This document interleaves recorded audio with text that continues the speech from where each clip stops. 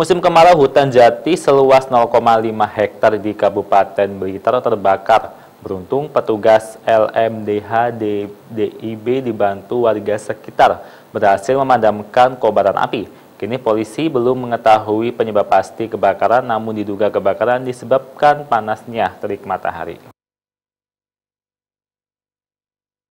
Inilah detik-detik video amatir yang direkam warga saat terjadi kebakaran hutan di bagian Kesatuan Pemangkuan Hutan Lodoyo Barat, Kecamatan Kademangan, Kabupaten Blitar.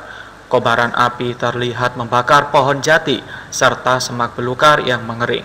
Beruntung kobaran api yang membakar lahan milik parum parhutani ini tidak begitu luas, hanya sekitar 0,5 hektar. Karena kelompok kerja LMDH dengan dibantu warga sekitar berhasil memadamkan titik api. Kapolsek Lodoyo Barat AKP Sabto Rahmadi mengatakan bahwa belum diketahui penyebab pasti kebakaran hutan tersebut. Namun ada dugaan kuat kebakaran tersebut disebabkan panasnya terik matahari. Ini yang terbakar adalah daun kering yang ada di bawah tegaan pohon jati. Ya, untuk luasnya kurang lebih uh, eh, 0,5 hektar.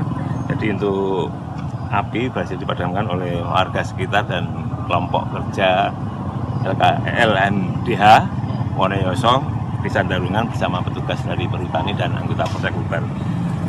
Sementara untuk kerugian sementara tidak ada masalahnya juga pohon tegak ini tidak ada yang terbakar. Jadi yang terbakar adalah hanya daun kering saja. Dugaan dan? Dugaan masih dalam penyelidikan mengingat juga situasi malam dan sepi. Nanti untuk perkembangan eh, hasilnya dilakukan kemudian. Pihak kepolisian Polres Blitar masih melakukan penyelidikan guna memastikan penyebab pasti kebakaran hutan jati milik perhutani tersebut. Khairul Abadi, Surabaya TV